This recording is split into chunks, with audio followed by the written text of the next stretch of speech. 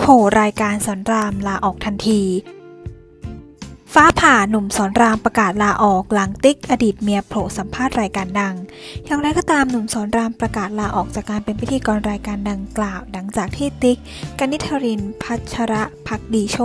หรือติ๊กบิ๊กบราเธอร์อดีตภรรยามาให้สัมภาษณ์ในรายการโดยมีเอิ๊กพรหมพรยูวะเวสเป็นผู้ดำเนินรายการออกอากาศไปเมื่อวันพุธที่ผ่านมา ซึ่งก็ทำให้หลายคนตั้งข้อสงสัยว่า ที่เกี่ยวข้องกันหรือไม่ เนื่องจากอดีตภรรยาได้มีการพูดถึงเจ้าตัวกลางรายการด้วย ส่วนเหตุผลที่ลาออกฟ้าผ่านั้นยังไม่มีความชัดเจน นอกจากแหล่งข่าวระบุว่าพระเอกดัง ละครแน่นทำให้ไม่มีคิวนั่นเองค่ะ